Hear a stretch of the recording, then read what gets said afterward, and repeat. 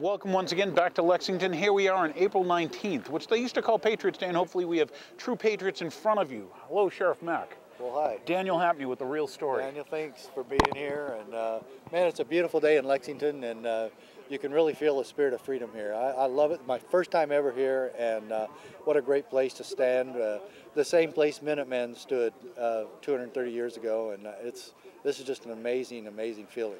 It's one of the better things in the Bay State. As a person who resides in Massachusetts, you're right. It's good to be in the place where, you know, where liberty was birthed, when I say birth. Um, tell us a little bit about yourself, what brought you here. Tell us a little bit about the Oath Keepers. Well, uh, the Oath Keepers and I were a, a, a marriage that was uh, made in heaven. it was easy. Uh, in my book, I talk about the oath of office, and uh, I have been talking about the oath of office for the last 15 years.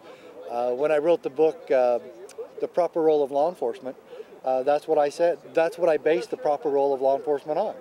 Keep your oath. If you take an oath, if you swear, raise your right hand and swear an oath, then keep it.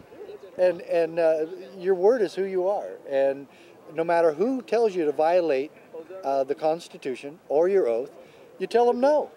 I don't care if it's your sheriff, your sergeant, or the United States Supreme Court, or your mother, or the barber down on Main Street. You tell them you will keep your oath, and you keep it. And that way, the people of this country know that uh, the peace officers and military of this country have the integrity that the founding fathers depended on. They, they asked us to take this oath. In fact, it's required in the Constitution exactly. itself. The oath of office is required by the Constitution. If you don't keep your oath, you're violating the Constitution. It's interesting the way, the way you just described that. I think of um, at least my upbringing with my father, and my father would say, "I'd say, well, gee, Dad, I'd you know, I'd like you to co-sign a loan so I could have credit." My father would say, "Son, a banker does not give you credit. Credit has to do with character, Yes. about who the person is. When you walk Yeah. into that bank, you bring credit." Yeah. And it's the same, once again, character, as you were saying. If you, you know, for the people, you know, years ago, and you think of the founding fathers who turned around and said, you know, this is something that should be required. People should take an oath, Yeah. okay, to protect, defend, and uphold the Constitution. Correct. And you're right. Many times people, well, we can side skirt it this time. We can get around it that time. Right. And what, at least for the viewers and stuff, I think, you know, you've said it well to them that, you know, it is. It's part of a, um, to me, a man's character or whatever. And it's more important uh, who the person is okay, then just because uh, many times they give people titles, and all of a sudden, you know, everybody's, you know, Your Honor, Your Holiness, whatever, and all this stuff, and it's it's based on respect based on titles instead of respect based on the person. Let alone if the person took the oath and stuff, then you know. Uh, I don't, I'm trying to find a good way to say it. Once again, it- it's got to do with character and moral character. Right. And it sounds like, you know, people that do respect their oath, I mean, if they don't, then they shouldn't take it Yeah.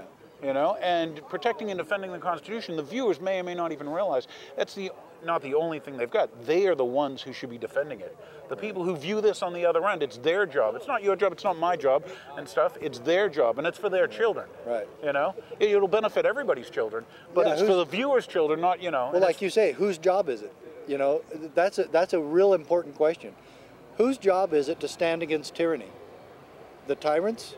Washington, D.C. is not going to stop the problems they have caused, okay? Washington, D.C. is not going to all of a sudden be un-Washington, D.C. Uh, That's not going to happen. So who does it? State and local authorities tell the federal government back off. In this state, in this county, we keep our oath and we will uphold and defend, protect and preserve the United States Constitution. Excellent. And the other thing I try to remind the viewers, and this, you know, I throw in everyone, I'm like, it was the states that created the federal government, not the other way around. Correct. And for the states to have their sovereignty. It's like you and I standing here, we're sovereigns. Right. A lot of people, uh, it's hard for them to conceptualize that to where they think, what, someone else is a king and now I've got to bow to said king or whatever the case. Here in America, part of what our founding fathers, you know, bequeathed us or gave to us and gave their blood so that we could have, and that is so that we could be sovereigns. Yeah. You know? Uh, there, there's a king, but he's not here right now. Uh, the good Lord uh, is the one that gave us this country, uh, and he's the only king. Uh, and after that, uh, we're sovereign, uh, Sure. plain and simply. And in Washington, D.C., you might want to look that word up. Google sovereign for me, and then you'll know what sovereign means. It means we don't answer to you. Okay? And the 10th Amendment, which was the basis of my case, is the founding fathers telling the federal government, in case we forgot something, you can't do that either. exactly, yeah. a lot of people think that, you know, once again, not think, but, you know, a lot of them are conditioned over years of whether it's education or the media that um, the Constitution limits the people. it's because none of them read it. It limits the government. It says, Yeah. hey, the, this is what you can do. And like you said in the 10th, anything that hasn't been given to you as power, you don't have. Right. And you can't have. And you, can't can't, have it. it from eminent domain just saying, hey, we slammed down a stamp or something. It's ours now. Yeah, and I still am looking for where the uh, federal government government got any authorization by the Constitution, Declaration of Independence, founding fathers, to regulate all our rights. Since when do they get to regulate uh, the Bill of Rights? Yet they have taken it upon themselves to do just that, especially when it comes to the Second Amendment. They don't get to do that either. And, and, and for anybody to think that the federal government gets to say how or when or what or, or put all the conditions on our rights is the same as destroying our rights. And that's what they're doing. And, and, and good news, it's bipartisan. Yeah. Yeah. It's American. The instead of- destruction of our Constitution is entirely bipartisan. Both the Democrats and Republicans are equally responsible for the degradation of our Constitution. So at least they got that part right. It's bipartisan.